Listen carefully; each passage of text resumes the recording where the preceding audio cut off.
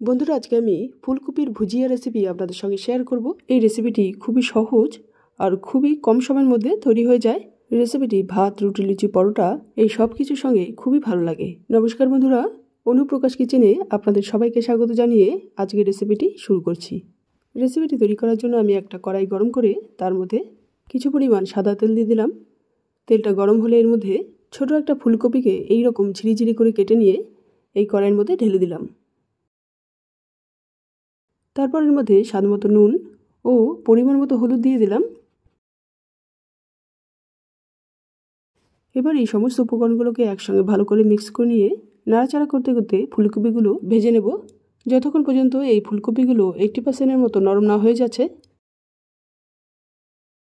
ফুলকপিগুলো এইটটি পার্সেন্টের মতো নরম হয়ে গেছে।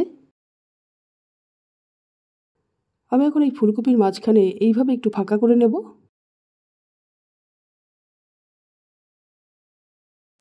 তারপর এর মধ্যে এক চামচ ঘি দিয়ে দিলাম।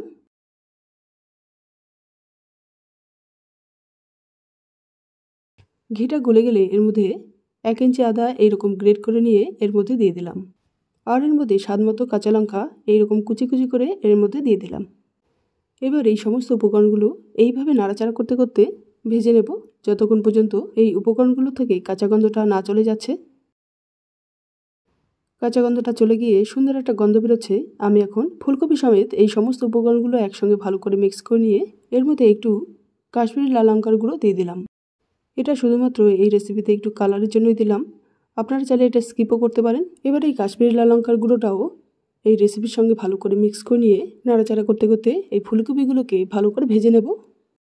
ফুলকপিগুলো ভালো করে ভাজা হয়ে গেলে এর মধ্যে এক মুঠো কুচনো ধনে পাতা আর হাফ চামচ গুঁড়ো গরম মশলা দিয়ে দিলাম। এবার এই সমস্ত উপকরণগুলো একসঙ্গে ভালো করে মিক্স করে নিয়ে মিনিট খানেকের মতো নাড়াচাড়া করে নিলেই আজকের রেসিপিটি সার্ভ করার জন্য একদম রেডি হয়ে যাবে। বন্ধুরা, আমার এই রেসিপিটি আপনাদের কেমন লাগল প্লিজ কমেন্ট করে জানাবেন। ভালো লাগলে রেসিপিটিকে লাইক ও শেয়ার করে দিয়ে এই চ্যানেলটিকে সাবস্ক্রাইব করে দেবেন। তাহলে বন্ধুরা, আজ এই পর্যন্তই। আবার আপনাদের সঙ্গে দেখা হচ্ছে পরের এক নতুন রেসিপিতে থ্যাংক ইউ